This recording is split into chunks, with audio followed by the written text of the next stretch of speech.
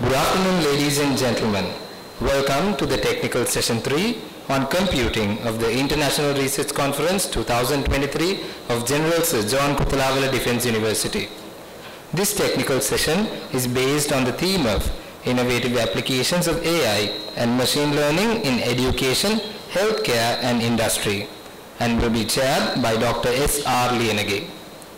Ladies and gentlemen, I would cordially invite Mrs. M.K.P. Madushanka to give you a brief introduction on Dr. S. R. Liyanage.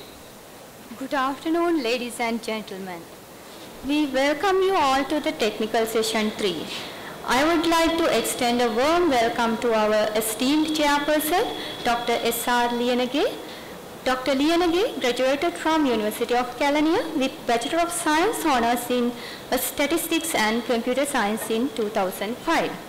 He completed Master of Philosophy in Computer Engineering from University of Peradeniya in 2009 and received PhD from the National University of Singapore in 2013. His research interests are in brain-computer interfaces, data science and applications of machine learning and pattern recognition. He is the head of the department and a senior lecturer attached to the Department of Software Engineering, Faculty of Computing and Technology, University of Kelaniya. He has published several research papers in reputed journals with more than 200 citations and has a Google h-index of 6. I cordially invite Dr. S.R. Liyanage to chair the session. Over to you, sir. Thank you. Thank you, madam. Now I cordially invite the rapporteur and the speakers of the session to be seated in the appropriate seat allocated for you. Okay, good afternoon everyone. So we will uh, start this session uh, first with the, first uh, we'll have the online uh, presentations. So starting with uh, ID number 261, uh, RDAV Thennakoon, LP Kalansooriya and GAI Uwanthika. The title of the paper is uh, Deep Learning Based Approach for Obstructive Sleep Apnea Detection Using EEG Signals. And thank you for joining us today at the International Research Conference.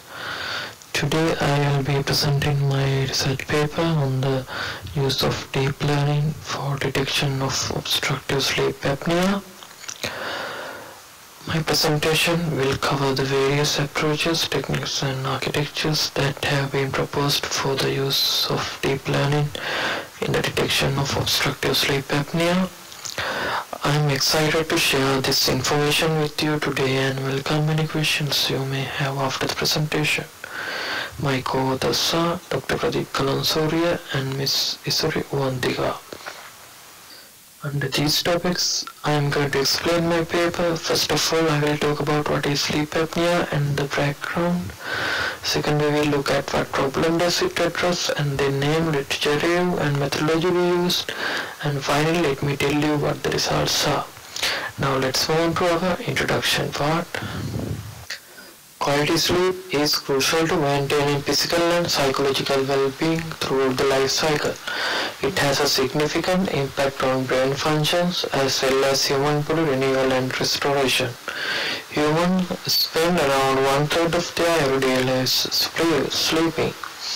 Sleep is necessary but nearly uh, 40% of Americans suffer from sleep problems such as insufficient sleep time, respiratory problems such as obstructive sleep apnea, neurological disorders related to sleep, difficulty falling or staying asleep. When a person is sleeping, their breathing can become disrupted, known as sleep apnea. If left unrated, this significant sleep condition can cause major health issues including high blood pressure and heart difficulties. There are three different forms of sleep apnea. Obstructive sleep apnea is the first form resulting from a physical upper airway blockage. The majority of cases of this kind of sleep apnea are seen in overweight men over 35 who have big tonsils, a small jaw and a narrow airway opening. Approximately 84% of those with sleep apnea have obstructive sleep apnea. Secondly, sleep apnea is caused by an inability to breathe known as central sleep apnea. The chest and diaphragm muscles which regulate respiration do not receive signals from the brain for a limited period while this condition is present. Around 0.4% of those with sleep apnea have central sleep apnea. Sleep apnea can also occur as mixed sleep apnea resulting from alternating extended stretches of OSA and short bursts of central sleep apnea. Mixed sleep apnea is thought to affect 15% of all sleep apnea sufferers. The most popular sleep study or test for identifying sleep apnea is polysomnography. Various psychological signals are simultaneously recorded during sleep as part of polysomnography. ECG, eye tracking, EEG, jaw muscle tone, chest and stomach activity, oxygen saturation, and ankle movements are examples of these signals. Apnea is a disorder that affects middle-aged adults and can cause various symptoms including excessive sleepiness, depression and increased accident risk. The patient's sleep is tracked during polysomnography and the results are then assessed by sleep expert. The diagnosis can only be made offline after the signals have been collected overnight. It is also oppressive and highly costly. Therefore, it follows that the development of less intrusive and more portable technologies is crucial. However, over the past several decades, many alternatives have been proposed to replace conventional methods due to their complexity and time commitment, but these methods have not been implemented as a system yet. The study aims to determine the best approach for deep learning-based system for the detection of obstructive sleep apnea and to analyze existing approaches that have not been implemented as software. Let's move on to the literature review part. Science Direct, IEEE Xplore, PubMed, ResearchGate, and other specialized databases were employed for literature search. Keyword, keywords associated with our study are discovered as a first step. When employing logical operators with a keyword combination, the search process was more productive. 918 total research papers are founded in all databases. Then EEG and ECG based research are chosen among these papers and similar documents and the same ones are removed. After then highly cited and most recent research papers are identified. Multiple classifiers, signal preprocessing techniques, and feature extraction techniques have been suggested to detect OSA according to the user signal. However, these methods have yet to be developed on a system. This section reviews the most recent and highly cited papers that have proposed algorithms based on ECG and EEG signals. The study of sleep EEG synchronization has recently emerged as a frontier for understanding brain functions. Numerous sleep studies have demonstrated that sleep issues may be identified and predicted using just one EEG channel. Therefore, the advance, advancement of automated approaches result in through evaluation of sleep quality. A method used in the identification process is the analysis of EEG data. Another common factor frequently employed in the diagnosis of sleep apnea is the ECG. Rather than EEG, there are more sleep studies research using ECG signals. One researcher studied the best technique for automatically detecting sleep apnea occurrences from an electrocardiogram signal. This, this study illustrates deep learning methodologies for the automatic detection of sleep apnea events. Six learning six deep learning techniques were used. The best performing model had 99% accuracy rate and the GRU and 1D conventional neural network model also had 99% recall rates. using the electroencephalogram, another researcher proposed an effective approach that could be applied in hardware to distinguish OSA patients from healthy controls. According to the research observations, the support vector machine outperformed the competition with an accuracy rate of 90 or 97%. This overview diagram shows the methodology. A hybrid classifier strategy is used for deep learning based obstructive sleep apnea detection system in order to precisely uh, detect sleep apnea using EEG signals. To do this, the suggested methodology mainly uses conventional neural network and artificial neural networks. Let's discuss each step one by one. Data gathering is the initial step of the approach. Patients with obstructive sleep apnea undergo electroencephalogram which record EEG signals.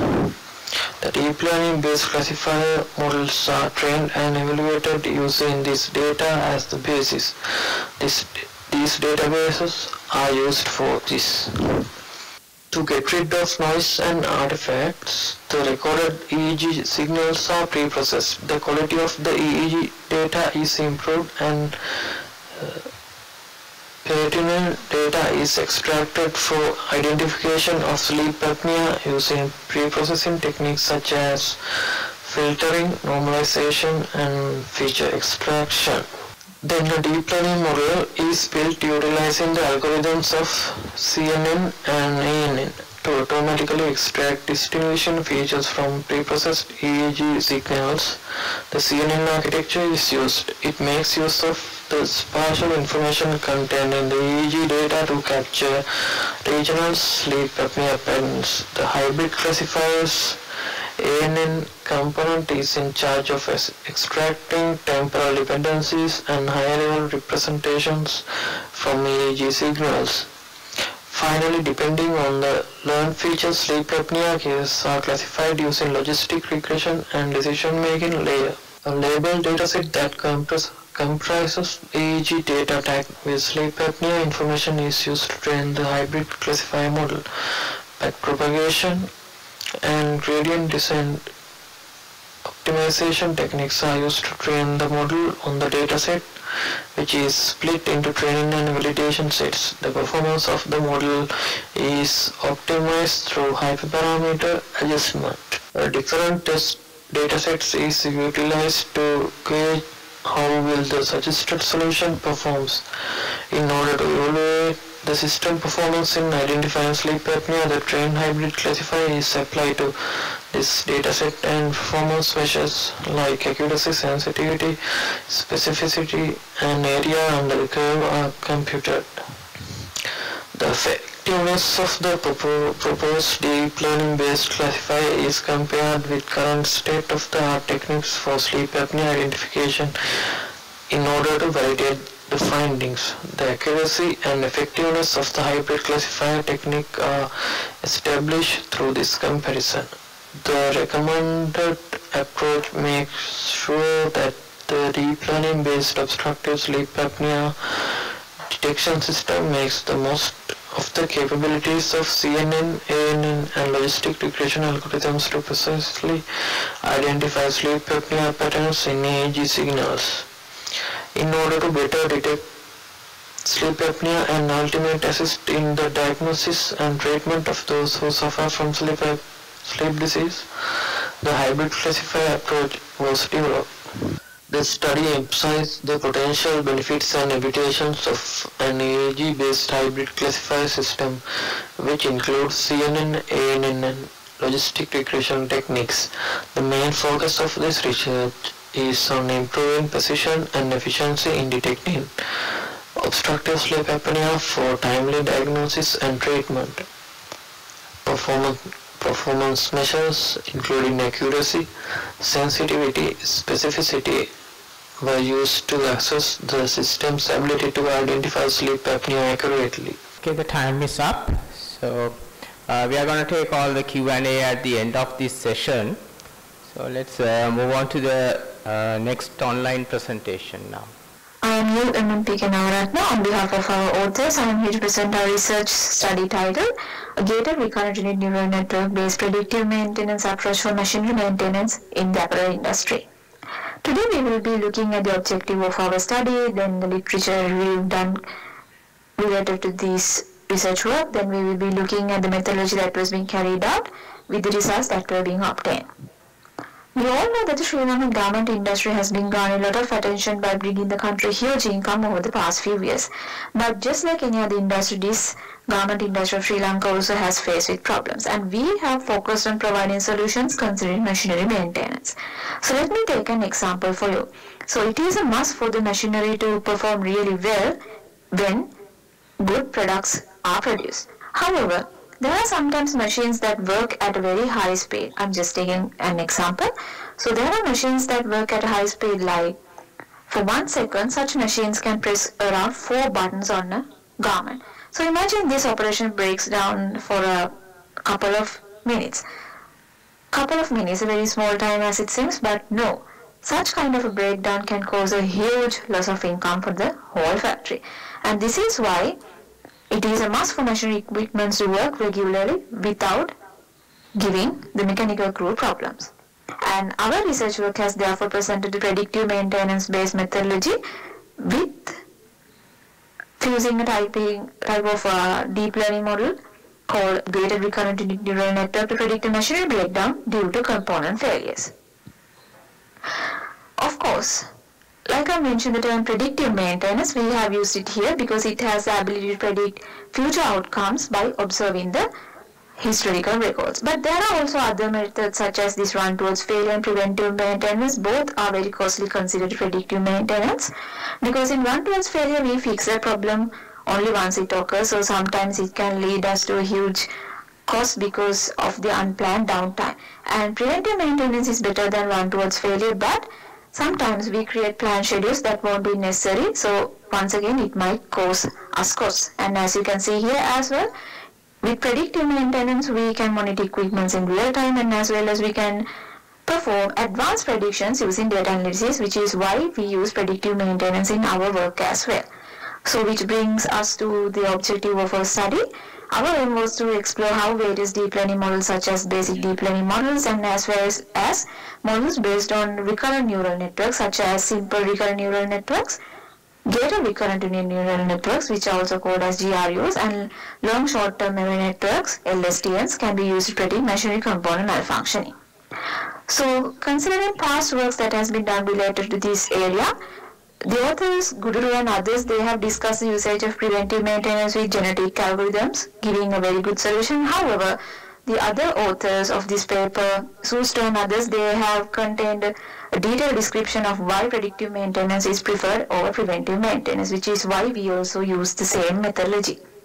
And a Wahid JG Breslin MA Intizar, they have used a hybrid model which uses CNN and LSTM model to perform predictions in a similar manner. So this is an overview of the methodology we carried out. We will be discussing this in the upcoming slides. So to begin with the methodology, we use this dataset found in this repository which contained uh, details of 100 similar machines. So it also contained machinery details as well as maintenance records and non-breaking errors thrown by these machines and as well as sensory data recorded per every hour such as voltage, vibration, pressure and rotation. And finally the most important factor machinery component failures. So this is a brief overview of our data. And first we use the maintenance data set to get the machinery component replacement frequencies. And then we use the sensory data also known as telemetry data with the timestamps where we use log features and using log features we were able to obtain rolling mean and rolling standard deviation which were calculated for voltage, pressure, vibration, rotation readings considering every 6 hours and 24 hours to capture a long-term effect. So these time windows can change accordingly according to the business case and it should be noted as well. So then in a similar method to calculate log features of telemetry data, we then used uh, the errors dataset to get the frequency of errors that were being thrown, considering the log features since these database also consists of timestamps. And finally, we integrated the failures related data and machinery data to get the final data model. Then other uh, traditional transformations such as um, removing null values, converting category variables into uh, numerical uh, variables was also done. And finally, the component failure was prepared as a target column because we are here to predict machinery component failures, which had four different types of components which made it as a multi-class classification problem. However, we also found out that there's a class imbalance in this target column, so we had to use SMOTE method, synthetic minority oversampling technique, to handle the data imbalance problem. So these are the five different deep learning models we use to train this problem.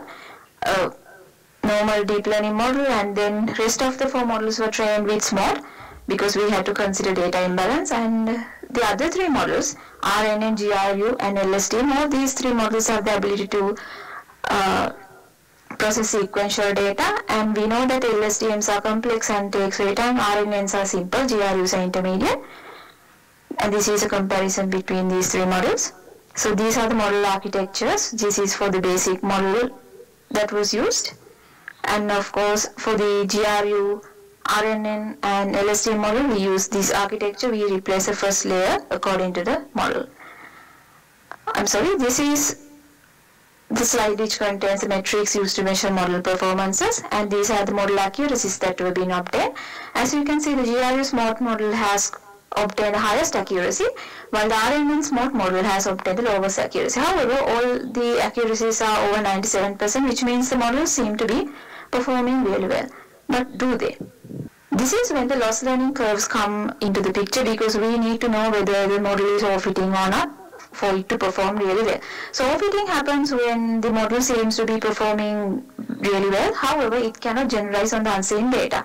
And if the model is really good, then the loss learning curve should be showing a less overfitting fact. For example, the first graph is showing very less overfitting because the gap between the training loss and the validation loss is very low.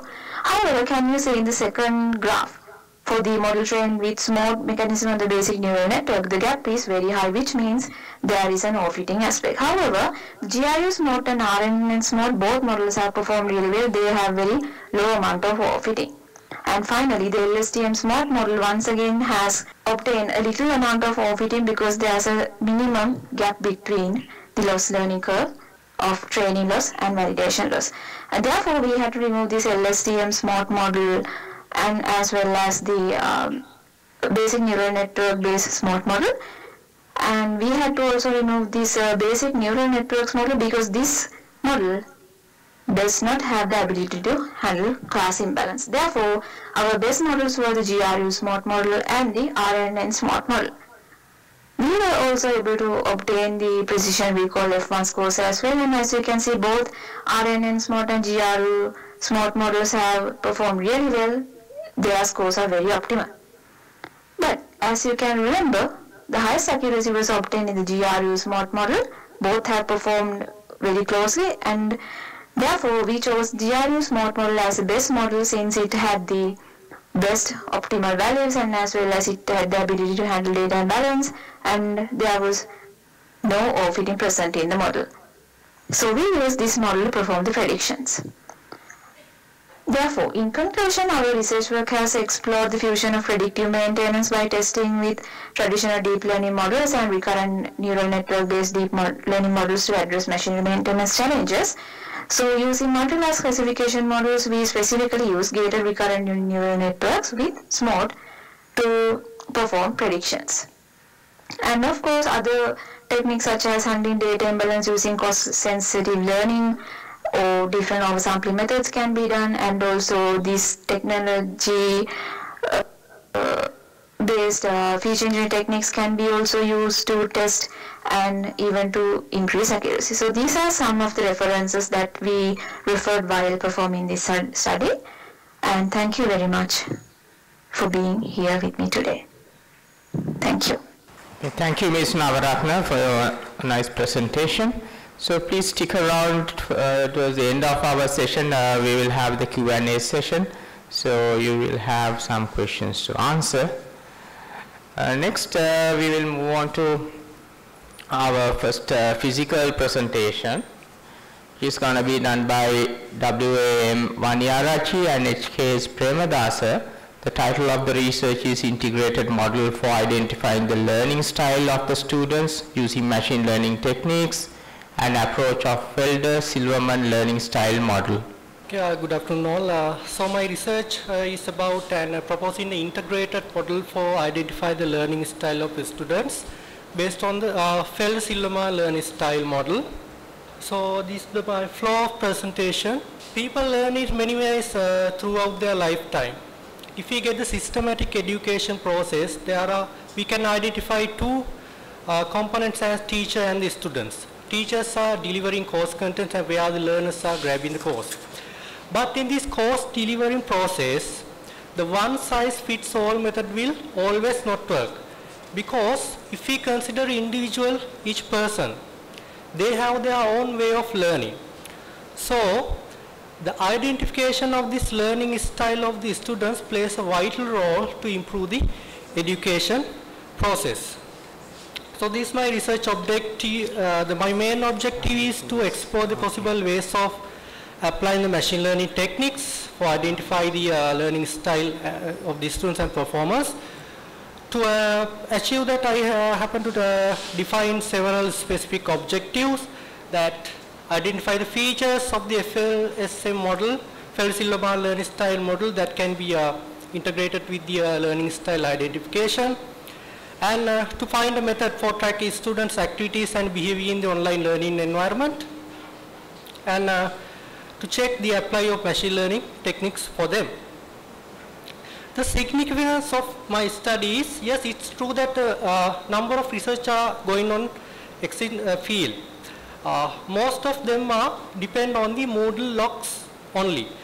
How we access the Moodle logs. The most of the researchers have decided this uh, learning style identification based on their Moodle logs. But in uh, my proposed methodology, I have combined two factors as the access time and the access hit for the Moodle logs as well as the total time student spends on the uh, online learning environment. For this I use the uh, Moodle as a platform as I need a platform to uh, test this. This is the, my overall uh, research methodology. First I went to a systematic literature review to identify the uh, uh, learning style uh, model, what is a Feld-Silverman and what are the attributes I can apply for this. And I happen to design some plugins, especially two plugins for the Moodle environment for data collection process. And I went through the experimental design and I then combined these frequency of access in the Moodle logs as well as the total time a student spend on each activity. And then I went through the machine learning data pre-processing process, a model development and model evaluation and the hyperparameter tuning and then the model deployment. So if we consider the FLSM model, it has main uh, four dimensions as processing, input, perception and understand. For this, uh, I have decided to randomly selected seven features. Randomly selected seven features as uh, use of the forum post, exercises, use of the videos, charts, images and graphs, and notes, concrete content, abstract content as well as course outline their uh, learning process. Once I selected these all features, uh, these are one of the significance of my research as well. I went through a validation process to identify the correlation of these each feature. Uh, for this I uh, use Pearson correlation uh, coefficient analysis. Uh, this heat map shows how the correlation has been varied with the each of the feature. So uh, it has four main dimensions as I discussed. It's input, processing, perception and understanding. For each of these dimension I check the correlation between the uh, attributes. Uh, then uh, for the data labeling process first I happen to use already accepted questionnaire that is uh, we call index learning style questionnaire that is already accepted method and uh, uh, proposed by the Felder Silverman. First I used those questionnaire and I selected uh, whatever the responses of the students. I uh, first decided in a manual way about their learning style. So this is the uh, time tracking plugin, plugin I developed for the uh, Moodle environment. This is a reusable plugin. Any of the uh, Moodle platform, uh, we can use this plugin. So here as in the left side you can see all the activities I have, actually the course content I have decided. For a particular course content, covering all these attributes at least I have decided five types of course contents.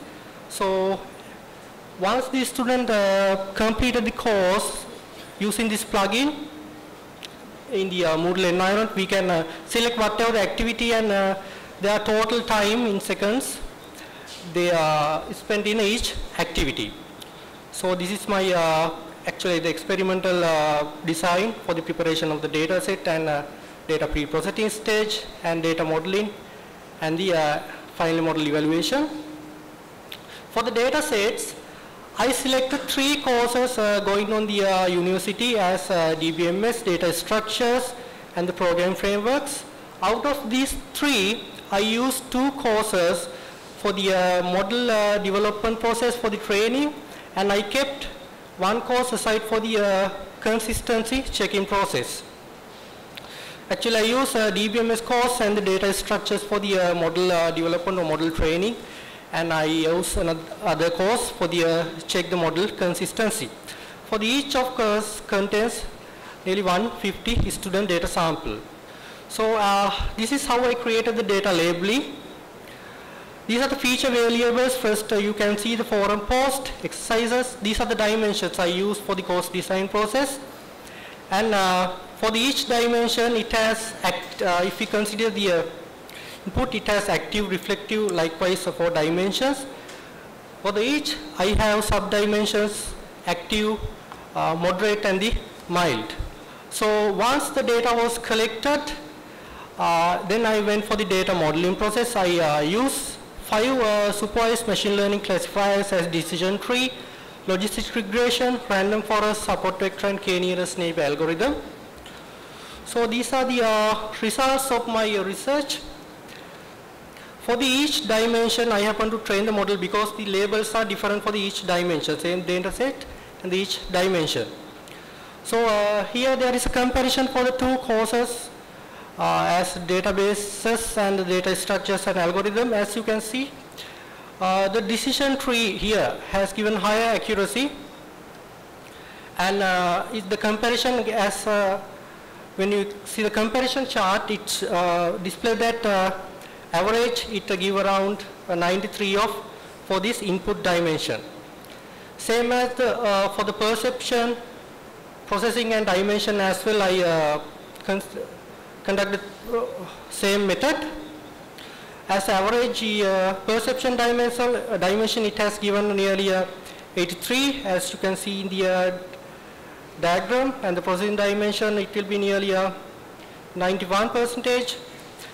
Uh, and understanding dimension nearly uh, 92 like. So uh, both of, uh, for this all four dimensions, it has the decision tree algorithm has performed with uh, nearly a higher accuracy. Then once I selected the uh, accuracy, it will be not enough to uh, to check whether this model is good. Then I went for the model evaluation process as well. And there I uh, went for the k-fold cross validation. The purpose of this k-fold cross validation is, uh, it says how this model will uh, behave in actually a new environment. If we uh, test for this a new environment, how this uh, model will be uh, react. Then uh, it shows that accuracy around 96 percentage and standard deviation around 10. That means uh, how the data points will be around the mean. If we uh, get a higher value, it will be not uh, as a good model. And I also consider the medians, mean squared error, bias and the variance for the uh, identify the, uh, the underfitting and the overfitting data. It's also giving uh, low values. That means the model is not uh, meet with the underfitting and overfitting context. Once I selected the best model, as I said, the decision tree classifier always give the uh, best result for this. Then I went for the hyperparameter tuning. I, for that I used the grid search methodology. In this grid search methodology, uh, once the code is written, it will give uh, given a combination of parameters. I uh, refer to this scikit-learn uh, library. It will give a, combination of parameters like uh, Gini entropy, uh, best random and the max depth. Then uh, always it gave the uh, Gini, uh, if we consider two parameters, Gini and entropy, uh, the Gini parameters always give the higher, uh, it's give a, a low time with the uh, performing the model. So this is the consistency of model. For the consistency of model, I again use the ILS questionnaire and get the answers and uh, I check again with the uh, responses uh, acquired through my model. Average as you can see for the all dimensions, input, perception, processing and understanding, uh, it show average consistency of good value uh, nearly 90, 92 and 93. Uh, as a conclusion, uh, this research can be summarized as I went through a attribute validation process whether although uh, other research are not uh, much concerned about that, uh, I could identify there is a close relationship between this frequency of access and the time spent around the in the Moodle platform. And the decision tree classification algorithm performs well with highest accuracy, always with the four dimensions of it. And the uh, hyperparameter tuning, the Gini, and the Gini and the best as the function give a higher value. So if I consider my research, these are the contribution of my research to the research community. I have uh, actually there were no data sets, predefined data sets for the conducting research. Then I happened to uh, went through the data collection and create a data set. Then I uh, created the validated features of data set uh, using the FSLSM model, a real world data set. And I have uh, contributed the train and evaluated four machine learning model for each dimension of the Felder-Silverman and a reusable time tracking for the uh, Moodle environment which can be uh, reusable in any time for any researcher. So as I acknowledge, uh, I would like to thank my uh, supervisor Dr. H.K. Premadasa as well as Dr. Pasan Maduranga for uh, his technical guidance. Oh, these are my some of the references. Thank you. Okay, thank you, Mr. Wanniarachchi, for your nice presentation. So if you have any questions, make note. Uh, we will take them all at the end of the session. So let's uh, move on to the next uh, presentation, uh, which is titled uh, Interactive Spelling Application for Preschoolers, A Journey Towards Playful Language Exploration. The authors are S.H.I.D. and De Silva, M.T.A. Wickramasinghe, and D. Gunasekara. The presenting author is uh, S.H.I.D. and De Silva, who is a fourth year information technology undergraduate of Faculty of Computing, General Sir John Kotelawala Defense University.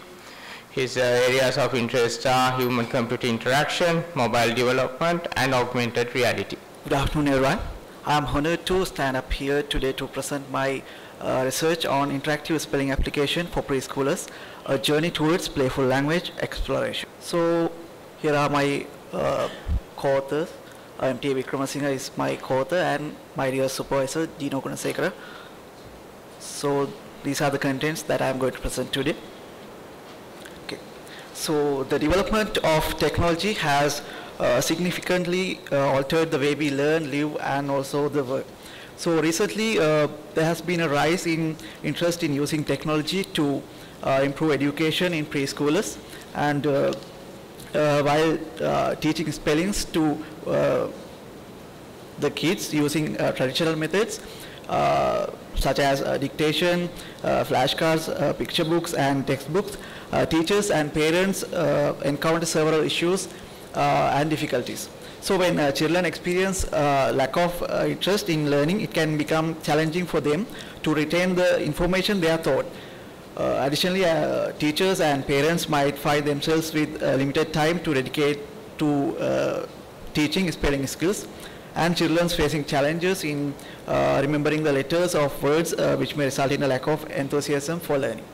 So the main problem that we found out is lack of interactivity uh, in current methods for teaching letter pronunciation and memorization of letters of preschool kids. When Okay, so the objectives of our research are determine any difficulties uh, or uh, restrictions associated with the language learning in early childhood education and then develop a mobile application using augmented reality uh, to enhance spelling skills and finally aims to compare the effectiveness of this application and uh, in terms of increasing children's spelling skills. So the overall scope of this research uh, is to address the problem by giving an effective uh, solution for enhancing spelling skills and uh, language learning in kids. And the study specifically uh, explores the application's potential uh, to improve kids' ability in recognizing and memorizing particular letters inside the words. So limitations of the research are this study focuses on the uh, development of AR applications for 3 to 7 year old children and as this is uh, still in the research stage, uh, this application has been developed only for Android operating system. So we have connected with Sri Lankan parents and preschool teachers to identify the uh, traditional methods that they are using to improve kids' language literacy. Uh, from that we have identified the preferences of preschool kids uh, and the challenges faced by the teachers and the preschoolers. So as mentioned before, the identified problem was lack of interactivity. So through a comprehensive uh, investigation of previous research in this uh, field, we have identified that uh, limitations concerning the accuracy, interactivity, uh, and learning progress in current uh, language learning applications. So the level of interactivity provided by the applications may not be sufficient uh, to fully engage and stimulate young learners. some applications lack effective tracking and evaluation to assess the learning progress of preschool children. Uh, so it makes it difficult to parents and edu uh, educators to gauge the uh, outcome of their kids. So through interviews and questionnaires, it shows that many children are not engaged and happy when participating in traditional activities used to teach letters. So there's a concern about children quickly uh, losing interest and uh, becoming bored, uh, highlight, highlighting the need of this kind of application. So when developing an app uh, to teach children to recognize and uh, remember specific letters within a word, it is important to uh, include a combination of effective uh, uh, effective features such as uh, flashcards, visual cues, songs, repetition, and also letter sound associations. So then by considering all the findings, we have concluded that the prevalence of mobile phone usage among children has significantly increased uh, in recent times and as a result it can be uh, concluded that the interactive mobile applications uh, have the potential to effectively engage children in language learning activities. So we recommend utilizing app technology to enhance the interactivity and uh, engage children in language literacy apps. So the development of AR application requires essential tools like the Android SDK, then the SceneForm SDK, uh, which enables the dynamic AR uh, app uh, creation without the OpenGL knowledge. Uh, the application scene graph connects virtual objects using the uh, transferable nodes and uh, physically based rendering ensures the realistic representation of the with the accurate lighting and ARCore enables the Android devices to access the AR features using object tracking, light estimation, and environmental awareness without extra sensors. So the proposed uh, solution application has been designed with a well-defined uh, system architecture which is depicted in this diagram. So this AR application uh, shows that uh, these virtual 3D representations of the uh, first letter and the other letters of a given word.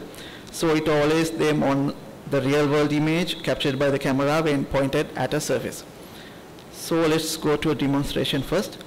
So you can see the there are a lot of animals we have added and firstly we have to scan the environment and tap on a node then the 3D object will appear on the uh, floor and those uh, ballooned letters will appear in the display so the kid can uh, touch them uh, in that correct order.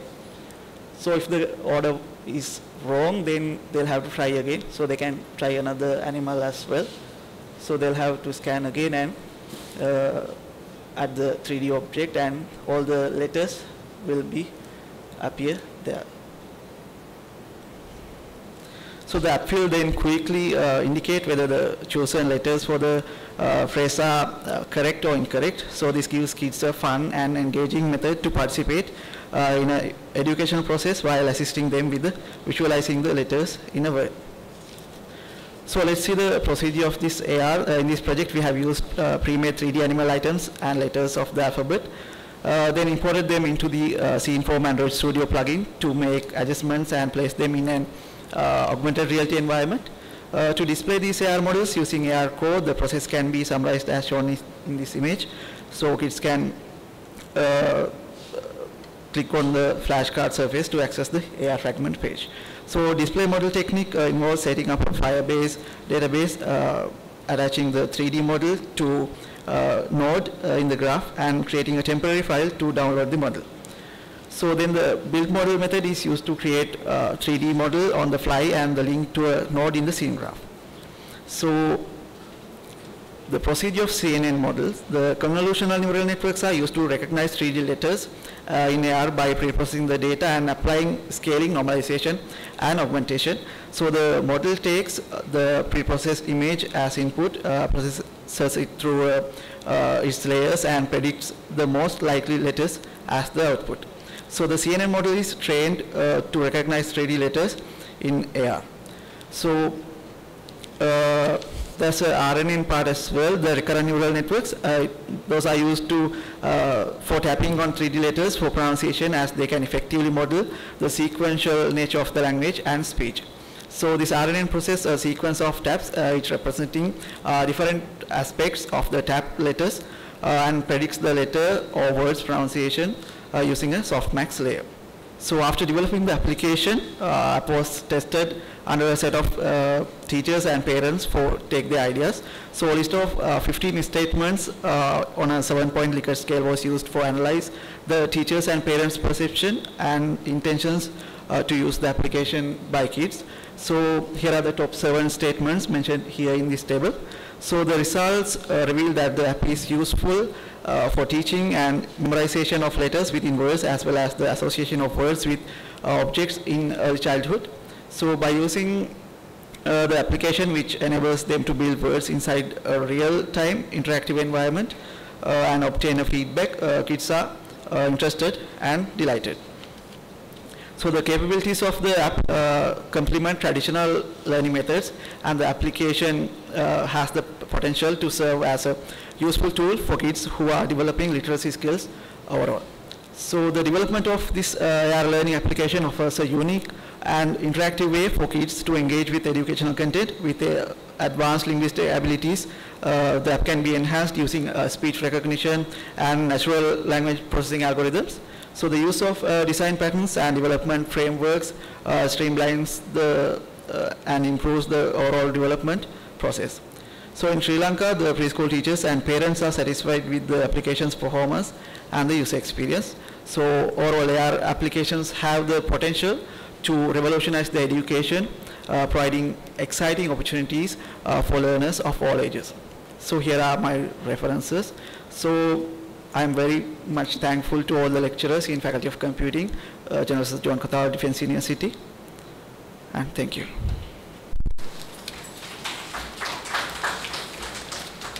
Okay, thank you, Mr. De Silva. It's a very interesting uh, presentation on your research. So uh, we thank you again, and uh, please, uh, if you have any questions to the presenter, please uh, make note. We will take everything at the end of the session. So moving on, uh, we'll go to the next presentation titled Enhancing Crop Quality of Paddy Using Object Detection Techniques. The authors are W.D. and Sandeepanie, S. Rathnayake, and A. Gunasinghe. So Ms. Uh, Sandeepanie uh, is a fourth year undergraduate at Sri Lanka Institute of Information Technology and her major is uh, data science and she is passionate about extracting insights from data. She is uh, dedicated to honing her analytical skills with a strong academic foundation and a drive for learning.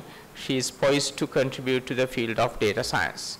So over to you, Ms. Sandeep. So I am Nilakshi Sandeepanie on behalf of uh, Sri Lanka Institute of Information Technology. and uh, my research topic is uh, enhancing the crop quality of paddy using object detection techniques uh, with the paper ID uh, 216. So as we all know, uh, the rice is a staple uh, food for over half of the world's population, especially in Asia. So it is uh, kind of a significant uh, commodity in international trade as well. So this rice plant or this paddy crop comprises of seven stages in its life cycle. So in my research, I am uh, mainly focusing on the third stage, which is the vegetative phase of the uh, paddy crop.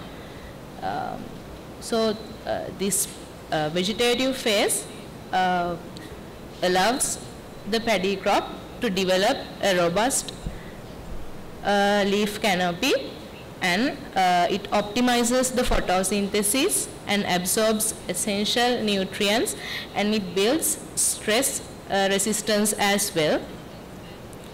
So why this vegetative phase is more important or why we need to pay our attention to this vegetative phase is because uh, the vegetative phase is the time period where the paddy crops are really vulnerable to diseases. So uh, if I mention some of the diseases which the paddy crop uh, is vulnerable during this period, the stunted growth, reduced photosynthesis, increased susceptibility to stress, reduced quality and the increased cost. Therefore, due to those reasons, we have to timely detect the diseases uh, of the paddy crop during this vegetative phase. So, uh, the research gap or uh, the difference among uh, the researchers which are done previously with my research is the lack of an interactive real-time monitoring visually appealing responsive web application uh, to detect those diseases and to display them. So then we'll move on to the literary review or the literature review. Uh, the primary objective of this literature review is to establish the theoretical framework and existing knowledge based upon which our research is built on. So uh, I have categorized this uh, literature into several key themes to help structure our discussion. Uh, so let's begin with the first category. So in the first category, the researchers have found the capability, ca the capability of YOLO version 5 uh, model on recognizing the diseases, specifically the powdery mildew disease, uh, which is caused to rubber uh, and the strawberry plants. Uh, another research which was done uh, recently to identify the defects of rice is uh, to identify the rice kernels defect using the multi-classification model uh, which is the YOLO version 8. So apart from them, uh, as the second theme or the, as the second category, uh, it focuses on the identification of diseases infected to paddy plants using machine learning models. So within this theme, the literature reveals the utilization of Faster RCNN MobileNet version 2 and CANDI algorithms to identify the diseases. So if we move on to the methodology, uh, initially I have gathered around 5000 images uh, from a paddy field using uh, Osmo mobile uh, device and a smartphone. So this Osmo Mobile 3 device contributed to capture the aerial view of the paddy fields in a stabilized manner because inside that device we can find a kind of inbuilt stabilizer therefore we can uh, resist the shakiness while capturing the images. Uh, so then the captured images uh, uh, to four major categories as healthy plants and the plants which are infected with yellow blight, tungro and brown spot disease. So then the, all the images were divided into three sections as train, test and valid. So those three sections are defined in the YOLO V8 model itself. Um, then the images were pre-processed uh, using some image augmentation techniques to make the model more general. That means to make the, so we can use the model uh, with several other plants as well. So the, to pre-process, I have used some augmentation methods such as uh, random rotations, flips, and brightness adjustments as well. Then uh, the pre-processed images were labeled using a third-party application. Uh, the labeled images were inserted as the input for the YOLO V8 model to detect the diseases. Um, then uh, what I did was, the trained model was hosted on a server and a custom API is set on the server to build the communication between the model and the web application. So web application contains the backend and the front end. The backend of the web application was created using uh, Node.js and the front end using React. Uh, the backend server communicates with the model's API to send the data for inferences. Now uh, let me explain the high level user journey uh, of my application. So the UI of the web application uh, allows the users to interact with the application so that users can upload images, videos or the real-time captured data using the uh, front end. So after receiving uh, the input data by the web application, it directly transfers to the YOLO, YOLO V8 model through the custom API which I mentioned previously. Um, then the model performs that means the V8 model performs the necessary processing part and detects the diseases. So the response is transferred again to the backend through the custom API in the form of classification labels and object bounding boxes. The backend sends the response back to the front end to display the results to the user. So the results are displayed in the front end as a logical map. That means the final output would be a logical map. And uh, a, cal a calculation is performed to find the spread of each disease by dividing the count of each disease type by the total count of diseases in the selected plot of land. So in this slide you can see uh, the overall functional diagram which I have mentioned uh, in the previous two slides. So in this slide also uh, you can see the interface of the final web application embedded with the logical map with provided detailed metrics about the spread of diseases. That means uh, our final output would be this one with a logical map divided into plots of lands uh, by considering the rows or the columns and for a specific plot of land uh, the diseases with the spread uh, is depicted like this. And um, when capturing the uh, disease data set or when capturing the images we should keep uh, this thing in mind. So the uh, images should be captured according to a pattern. That means in row wise or column wise to obtain this uh, output. So after uh, training the model these auto generated graphs uh, were received. Uh, in the left hand side you can see the, the distribution of each disease in my data set and in the right hand side we can see the det detected diseases in a randomly selected set of images. So uh, in this slide under analysis and conclusion I would like to mention that in most of the images the diseases on the leaf blade are visually imperceptible. That means it is in micro level uh, difficult to identify in our naked eye. But in using this YOLO V8 model uh, we had the capability to distinguish them approximately. And um, this proposed model was able to work fine with multi-scaled images as well. So we don't need to worry about a specific size of image. Um, so in future work, uh, I suppose to use graphical elements like heat maps or colored markers to visually represent the percentage-wise spread of each disease in the selected plot of land. So still uh, I have developed that map, logical map. So in the future work, uh, I suppose to build these UI features as well.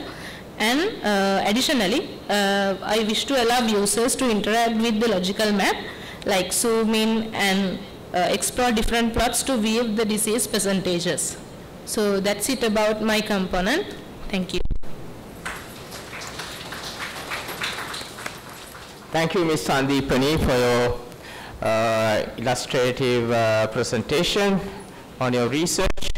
So next, uh, let's move on to the last presentation of this session, uh, which is titled uh, Development of a Web Application for Asthmatic Wheeze Detection Using Convolutional Neural Networks. Uh, authors are D.P. Deraniyagala, G.I. Uwanthika, MKP Madushanka, and MTKD Dissanayake. So the presenting author is uh, Ms. Devni Deraniyagala, uh, who is currently a final year undergraduate following the BSc Honours degree in Software Engineering degree program at General Sir John Kotelawala Defence University. Over to you, Ms. Deraniyagala. Good evening all. So uh, today I am going to present to you my research study, a development of a web application uh, for asthmatic wheeze detection using convolutional neural networks. So I am DP Deraniyagala, a final year software engineering undergraduate at KDU. Um, so this is uh, the main overview of the presentation that I am going to go through. So uh, monitoring health conditions is becoming uh, very popular as the people's quality of life improves. So asthma or uh, wheeze is a persistent respiratory disorder that impairs breathing. When, when you have wheeze, your airway will get blocked and it, you will be having a difficulty in breathing. So uh, continuous and automatic monitoring of such kind of respiratory status is necessary and uh, according to the studies done around 4000 to 5000 people are dying in each year uh, due to these respiratory disorders so uh, and in Sri Lanka also these uh, respiratory disorders uh, plays a significant health issue and uh, currently there is no automated uh, system to detect wheeze in clinical usage. So my approach is to develop a web application to solve this problem. So this uh, web application receives the audio recording through an electronic stethoscope and passes them onto the machine learning model that I have developed and uh, it analyzes the uh, audio and uh, the outputs are predicted and this uh, system is uh, developed to use in the patient's monitor where the clinical staff can use the system. So this is the main literature review I have done uh, in order to uh, conduct this research. In the uh, final slide, I have uh, added the summary of the research studies that I have done. So there are various technologies used like DSP, IoT, uh, neural networks uh, and all and uh, they have used various equipments in order to get these audio recordings to the system and uh, after getting that audio recordings uh, these systems have used uh, various features like sampling rate, air quality, the wheezing sound, the time frequency to analyze the audio recordings and also there are various accuracies uh, achieved in these systems uh, according to the technologies used. So uh, as I previously mentioned, my aim is to uh, develop this uh, web application to monitor wheeze. So this is uh, like the main methodology as I previously mentioned. The audio recording will be taken uh, from the stethoscope to the patient and uh, it will be uh, taken by the web application and using the model, the out, output can be waived by the medical staff using the web application. So, so this uh, I have get a data set of audio recordings from Kaggle and uh, those audio recordings were around 10 to 30 seconds. So I have uh, converted those audio recordings to spectrograms and uh, label those spectrograms and feed it to the model to develop the model. And uh, now I am developing the web application using React.js and my backend is developed using Python. And as the uh, further steps, I have to uh, integrate the model uh, to the web application and around 70 to 80 percent accuracy was achieved from the model this is like the main UI I have developed, uh, just a simple UI that any uh, medical staff can use uh, quickly. So uh, as I mentioned, uh, as my final conclusion, I have developed the model and I have to, uh, and the front end, I have to uh, connect the front end and back end and to the model and uh, give the necessary uh, outputs using the web application. These are the references that I have used. Thank you.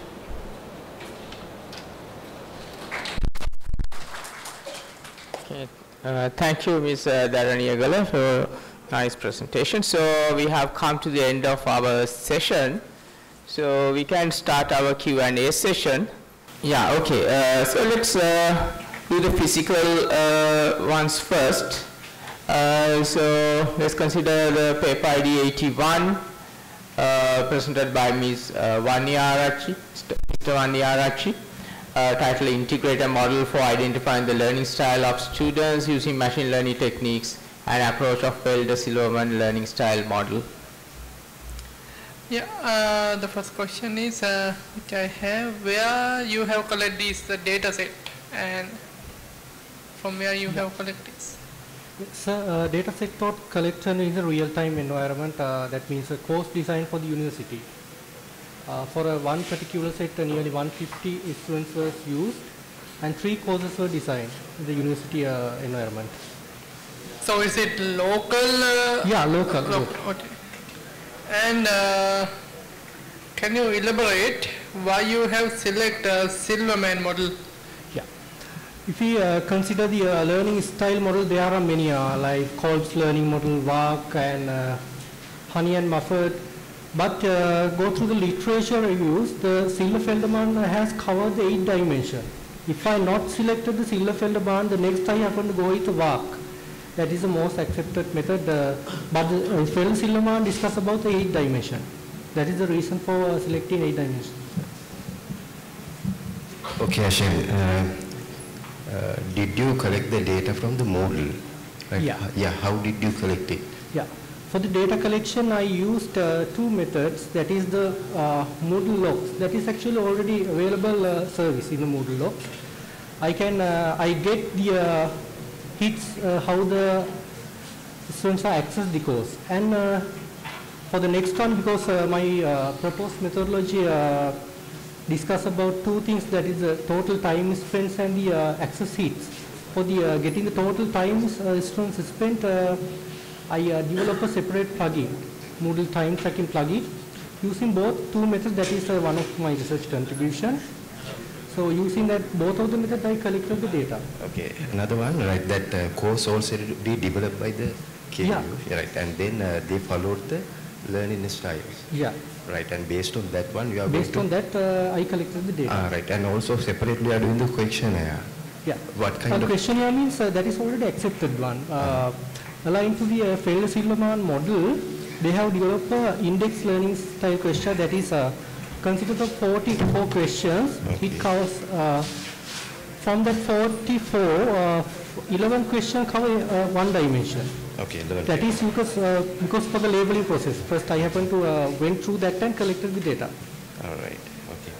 Right, uh, I think the, uh, this kind of thing, uh, which, which, right, for example, in the instructional designer, right, Yeah. and uh, these kind of thing very useful.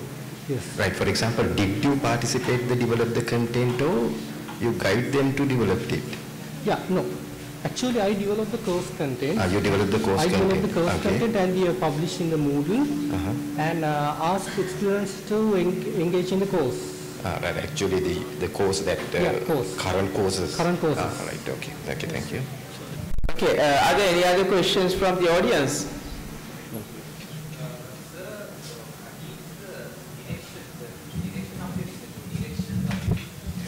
Yeah.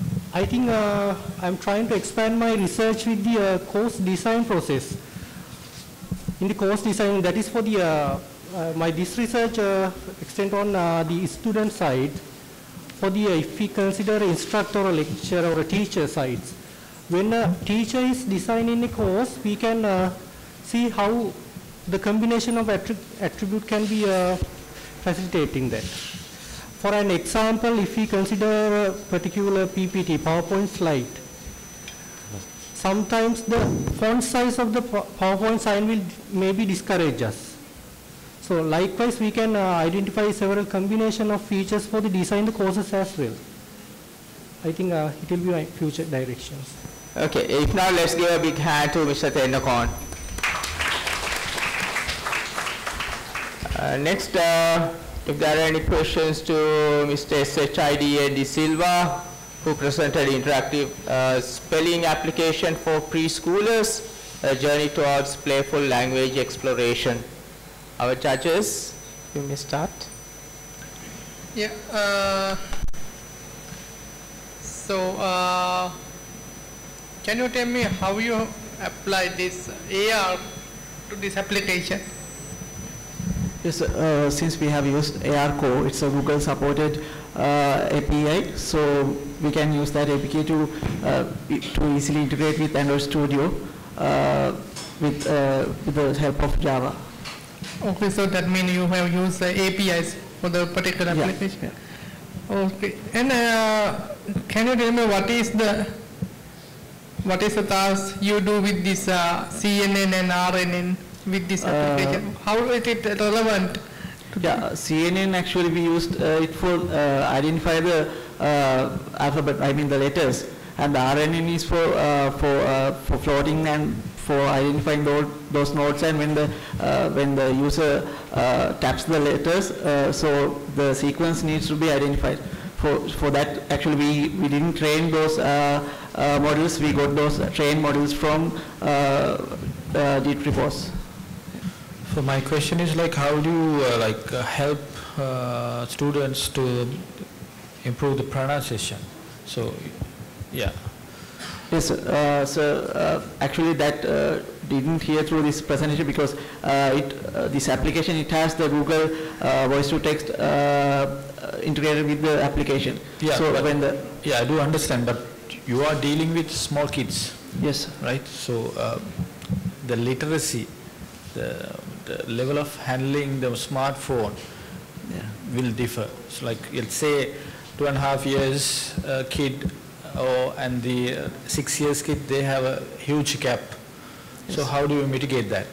Yeah, as I mentioned, uh, this is uh, this is focusing only on uh, three to seven year old children, and also uh, definitely this will need the guidance of the parents as well because I am not I'm still developing it, so I am going to uh, uh, add some uh, guidance or the, like some notes before uh, playing this game uh, or starting this application, so the parents can read those notes and they can guide uh, their kids uh, in, a, in an appropriate way. Your focus is for preschoolers, right? Yeah, preschoolers and grade one students. So uh, my suggestion is like, so uh, if you can in, uh, improve this thing to wearable device, kind Mhm. of uh, glasses or something like that, that would be great and the interactiveness will um, be high than the using mobile phone, like. And um, so what are the other challenges that you faced?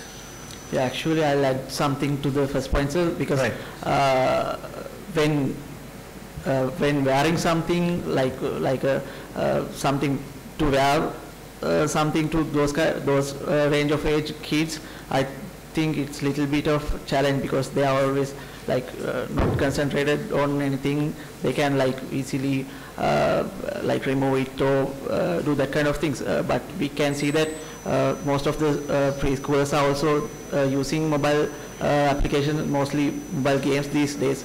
So I think uh, rather than playing a uh, like a normal uh, fun game, uh, this kind of uh, uh, application which helps to uh, learn something will uh, helpful to them. So that's why I thought of like uh, doing this. And uh, Yeah, is that your POV or point of view Yeah, or yeah. like? Yeah, that's my point of view. So I think you better do uh, research on that as well. Yeah, thanks. Yeah, and uh, have you done uh, research on this, uh, detailed research? Because I don't feel you have done enough. So, uh, can you tell me, uh, have you researched by giving this application to children, their, what is their feedback actually? Uh, so once we done whatever developing application, we need to get the feedback, right? Yes, sir. So what is their feedback? Or whether those children or it could be teachers or it could be parents, what their feedback? Uh, actually, I mentioned it in my slide as well, sir. Uh, we have uh, meet with uh, uh, 15 or 20 uh, students with, uh, I mean preschoolers with uh, parents, and we uh, gave them the application and we asked them to like try it out. So then the uh, results were positive. Uh, most of them were satisfied uh, with the applications. Yeah, again, my, sorry, my next question is like, so what is the language that you used? I mean, English or Sinhala? Uh, English. English? Yes. Okay. Because I couldn't find uh, uh, matching uh, 3D models uh, in Sinhala alphabet. Uh, That I do understand, yes. Okay. So I, I- I, I suggest that you do more research on this area and, uh, yeah. Sure, sir. Thank you. Okay. Are there any more questions from the audience?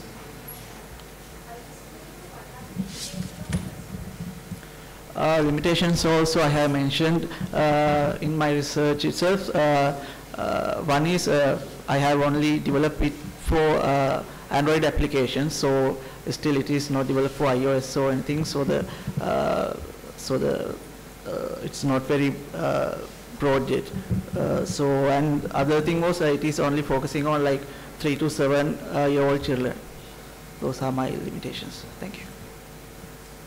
Okay, uh, I have one small question of my own. Uh, did you involve any medical experts or some domain experts in your research? Uh, yes, I have interviewed one uh, one uh, uh, lecturer who uh, he's the one who helped to like create the preschoolers curriculum uh, or the syllabus for this uh, Western province. So they have a specific syllabus for uh, uh, in this Western province uh, educational uh, department. So I have interviewed him as well.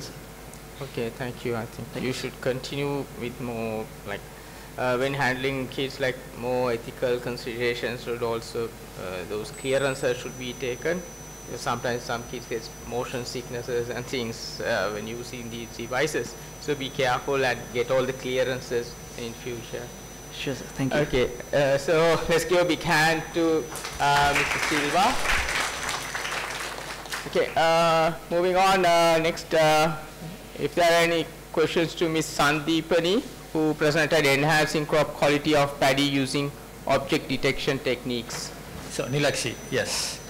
Okay, Nilakshi, so I have uh, so gone through your presentation, well structured, and I have seen the gaps, uh, how to do the methodology, and it's very clear. And uh, I have few questions, like um, when it comes to data capturing and all, so I have seen that you have done a great job. So uh, how do you select, how do you um, like uh, define the data set sample size? So- Sample size. Um, so, uh, What was your approach? Uh, so I collected basically around 5000 uh, image data uh, from different different paddy fields in western province so while i was going through the previous literature or the research papers uh, i have identified that those research papers are based on uh, large data sets so in order to train a cnn model we uh, needed to have a big data set. Therefore i gathered 5000 images. Yeah, so um, how do you know that 5,000 images are enough for the research? uh, actually while uh, doing the training process I was able to uh, get an accuracy around 80% uh, 78 uh, like that. So therefore uh, in order to improve so I just I wish to improve the model to improve the model uh, uh, I wish to gather uh, some more images from different different uh, paddy fields in different brightness levels so and uh, wish to improve the model. So still I just used only 5000. Okay, um, for the training purpose, so I have seen that you, you identified uh, four types of diseases, right? Yeah. Four- Yes. Uh, three diseases Three- and three types, Yes, and for, for that, uh, from where did you get the expertise? I mean, like, you are not the, not related to that Yes. area, like, uh, not into agriculture, like, or something like that. So from where did, did you get the expertise and uh, did you refer someone or Yeah. uh, did you refer internet or like, So uh, we contacted uh, a plant researcher in CIC Agrobusiness Farm. So the person was uh, supporting us uh, from the start of our project up to now. okay, how do you validate those, uh, those uh, inputs are really valid? So after uh, getting the input from him, I just uh, googled it as well. Then I was able to find out that brown spot, tungro and yellow blight are common diseases for all kinds of paddy fields. Okay, so uh, you, as you said, like you did the aerial view as well. Yeah. What are the inputs and what are the parameters that you use to train the model? Uh, I mean, like, what are the, what is the advantage that you got this from this aerial view? Uh, because in order to capture the, so most of the diseases are there on the leaf blade of the paddy plant. Therefore, I uh, just used aerial view to capture the, the disease properly. If we uh, capture the diseases from the ground level, it is kind of difficult to identify the disease or the symptoms. That's why I used aerial model. Okay, is that the cost, most cost effective way to get the images? I mean, Cosmo is very expensive.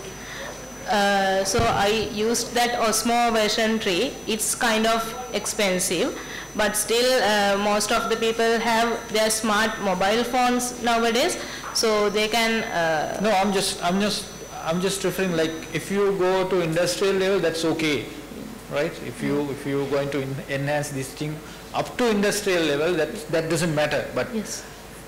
yeah, again, again, 50-50, yeah. Uh, that I can understand, yeah. Um, again, uh, how do you um run the model? I mean, like, is it real time? Uh, we have the, both the options. That means we can uh, use real-time capturing as well as we can input an image or a video and uh, identify the disease. If it is real time, what are the challenges that you face? Like, uh, if it is real time, you need to deal with anyhow. You need to deal with the cloud. Right? Yeah. So, what are the challenges? Have you So- tried? Yeah, I have tried, sir. So uh, while I'm um using the uh, real-time, so I used webcam, uh, and uh, some amount of lag- lagging was there uh, while uh, identifying the disease. So that was the main uh, difficulty I faced. Okay. What are the services that you used? Where you hosted? Then uh, In I mean, Flask. Yeah. What are the services that you used? What is the cloud uh, provider that you use? So actually I didn't use AWS or Azure, I just used uh, Flask uh, and Node.js to uh, like to build the backend process uh, to communicate with the API. The front end was built using React. What is the communication medium that you used, like to uh, communicate with the cloud? I mean, like, Python. have you have you have you faced any limitations when when uploading like ha- big payload like? Uh, the network issue was there from the start. Other than that, uh, couldn't figure out anything. So have you noticed like when, when capturing people, what is the, the amount of megabytes that you sent? Uh, I know, I understand, it depends on the camera that you are using, but Yeah. you should have a benchmark. What is the minimum, uh, the level, the minimum, uh, what do you call like, um, yeah. resolution? Yes, sorry, I forgot that. Have you identified that or? Still. you In the please work on that, like, Yeah, because you know, um, you need to um, enhance the system, like, uh, with the minimum, um, uh, what it call, like, resources, you need to improve the system, right? So this is a very good product and Thank you. sir. very nice. Thank you. sir. Okay, let's give a big hand to Ms. Sandeepanie.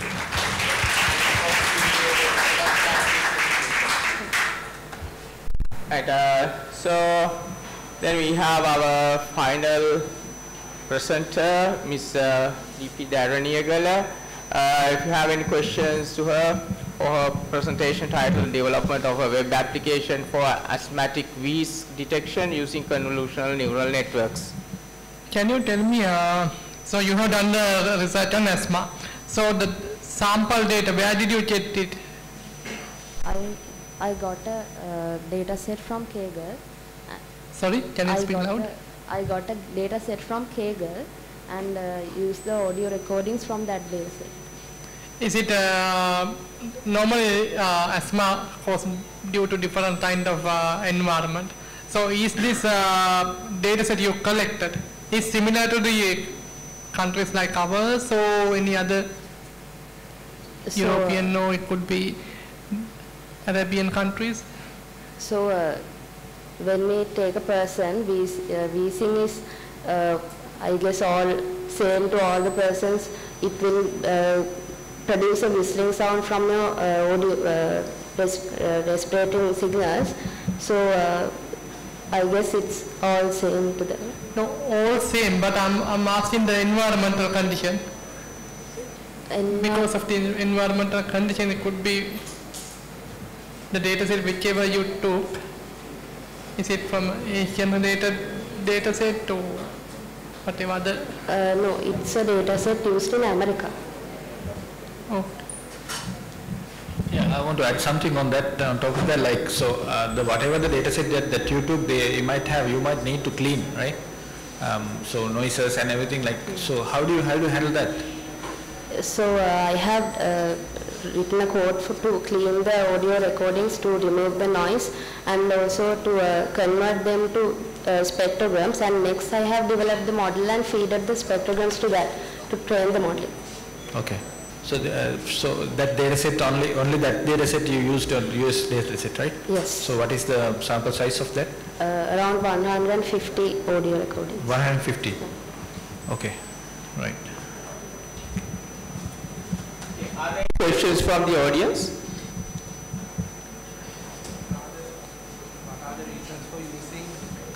convolutional neural what are the reasons for using convolutional neural network Uh, so this is my final year project. So before doing to doing the final year project, we had to do a study. In that study, I have uh, analyzed uh, various technologies I have mentioned in the literature review also. So in that study, uh, I have uh, seen with uh, various technologies used and the accuracies and uh, neural networks provided a better accuracy. Okay, are there any more questions from the audience? Okay, if not, I have one question from myself. Uh, now you are recommending uh, therapeutic uh, things, right, like medicine or something. So, uh, was a medical expert involved in your team? Yes, uh, I have uh, involved a doctor from Sou- uh, Colombo South Teaching Hospital. for Was the the validation done with real data? Uh, not yet. data? I have just created the uh, model. I have to do the validation parts. Okay, thank you. So let's give a big hand to Ms. Deraniyagala. Uh, next, uh, I think uh, we have our online presenters available. So let's, if you have any questions to Mr. Thennakoon, who presented a deep learning based approach for obstructive sleep apnea detection using EEG signals. So uh, can you explain me uh, any challenges you found in this research?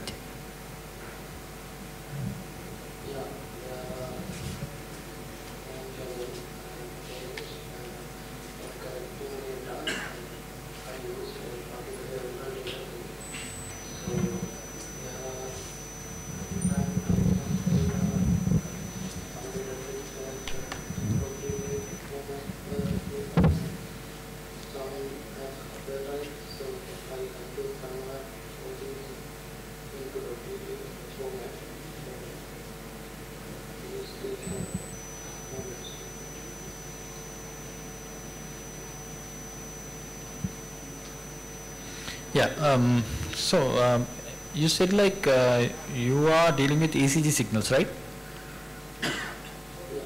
Yeah, so, uh, how, how do you like deal with that, like, uh, how do you, um, get the data?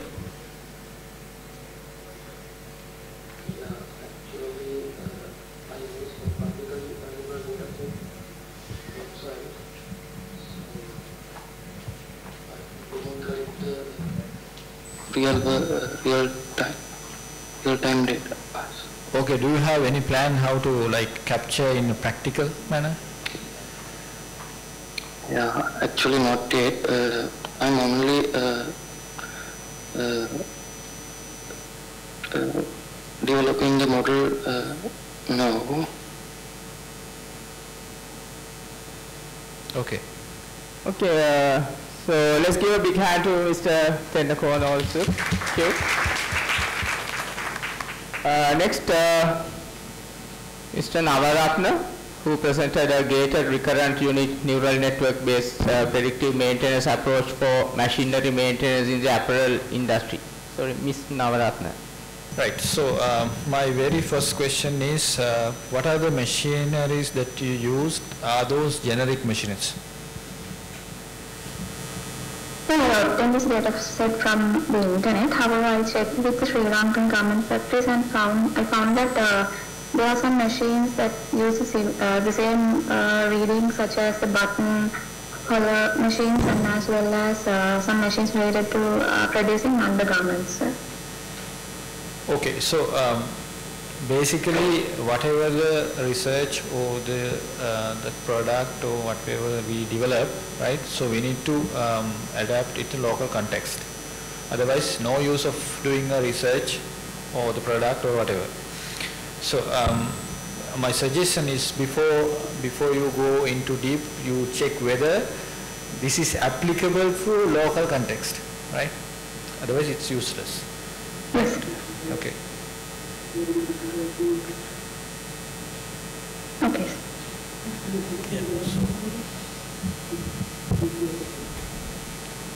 Any other questions from the audience? Yeah, one more questions from my end. Uh, mm, so, um, machine to machine, vendor to vendor, the failure rate will differ, right? So, um, yeah, how, how, what are the findings that you got so far? Let's say Siemens or the uh, high-level manufacturer from Germany, so very reliable uh, machine manufacturers are there. So comparing to other, like let's say, I don't want to like degrade anyone, like anyway, let's say China or India. So, so we obviously know that the, the reliability is a bit low, right? So how how how do you like uh, get the uh, what is what is your um, approach and what are your findings? So can you please repeat the question again? Uh, Yeah, I'm just I can't hear you referring. So as you said, uh, the failure rate. You are dealing with the failure rate, no? So dep- it depends on the vendor. Uh, let's say Siemens or whoever. So German vendors, or we know highly reputed, reliable vendors are there. But when it comes to Chinese machines, machineries, Indian, or the, the failure rate will low, right? The, the, not the failure rate low, the, the reliability is low, right? So how do you um, how do you uh, recognize those things? What is your approach, like when it comes to this this context? So you are basically dealing with failures now. Yes, basically. Yes, that is right, yes. You got my, uh, my question?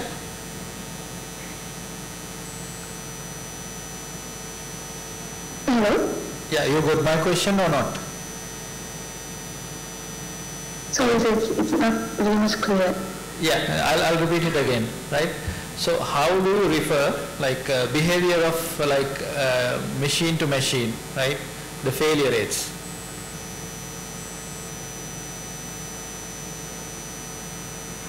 So this data set uh, had 100 machines, so they have the fa- component failures recorded with them. Those data sets from And, similar machines, is it? Yes, sir. Okay, okay, clear. Similar machines, similar vendor, right? Same vendor. Yes, sir. Okay, that's then clear. Thank you. Thank you. Yes, thank, uh, thank you everyone. So uh, let's give a big hand to uh, Ms. Nawarathne also. So let's hope she can uh, make a model for our Sri Lankan machines also in future. So it's, a, it's, it's been a very interesting session on innovative applications of AI and machine learning in education, healthcare, and industry. So we had a mix of all uh, three here. So I hope you enjoyed the session, and let's give a big hand to all our presenters again. Thank you. Ladies and gentlemen, now we have come to the end of the Computing Technical Session 3. It's time to sum up the session. Now I would like to invite the chair of the session, Dr. S.R. Liyanage, to present certificates to the presenting authors. Mr. W.A.A.M. Wanniarachchi.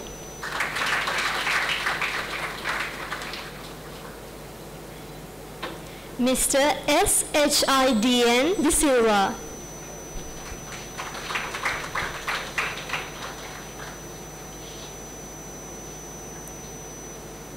Miss W.D.N. Sandeepanie.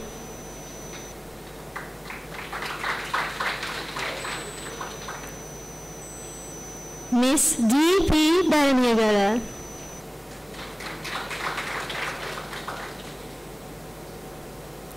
Now I would like to invite Rector, Metropolitan Campus, Major General A.L.D.M. Gunasekara, RSP, USP, PSC, accompanied by Dr. Asila Gunasekara, Dean, Faculty of Computing, to present a token of appreciation to the chairperson.